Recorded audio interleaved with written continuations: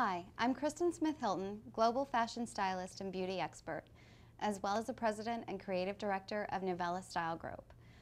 Talking to you today about the classic pump heels for tips and advice. Now, if you don't know what the classic pump looks like, it is a stiletto style, either a point or a rounded toe, and usually when you're talking classic, it is basic black.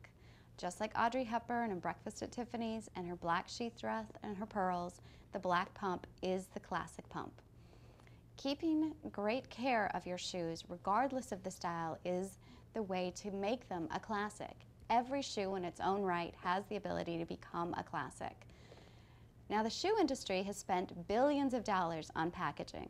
Packaging, styling, and it is very important that after you purchase your shoes, you do not come home and instantly throw away the packaging.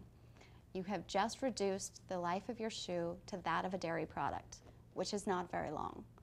So it's very important to keep your shoes in the box and the original material. If you've made the mistake of already throwing it away, it's very, very easy to correct. You can pick up tissue paper at your local store as well as classic Tupperware, wrapping the shoe, inserting it inside of the shoe to keep the frame from breaking. You will have long longevity in your shoes for as long as you want to wear them and be able to pass them down, therefore making every purchase a classic. If you can't remember what the shoe is, a quick snapshot or Polaroid on the outside of the box will tell you what's inside it. It also cuts down on that very important last five minutes as you're trying to grab everything from children to keys to purses and you don't have time to look for that other black sandal. I'm Kristen Smith Hilton with how-tos on classic heels and pumps.